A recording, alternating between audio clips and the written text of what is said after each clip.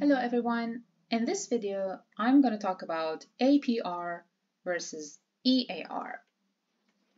APR, or annual percentage rate, is the annualized interest rate using simple interest, without considering the interest earned associated with compounding periods less than a year.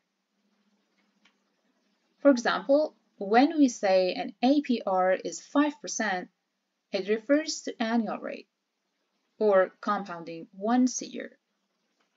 It ignores compounding semi-annually, or quarterly, or monthly, or more.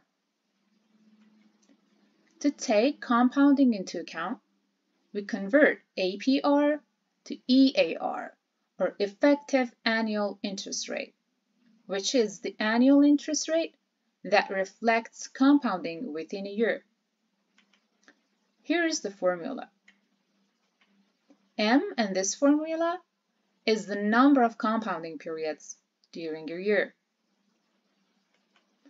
For example, if a loan agreement quotes an APR of 20% and the payments are monthly, what is the true cost of the loan? The true cost of the loan is EAR, not APR. So we convert APR to EAR.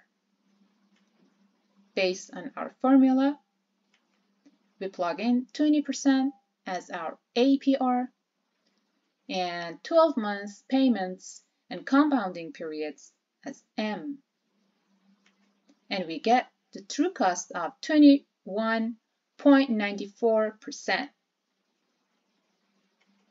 Thank you.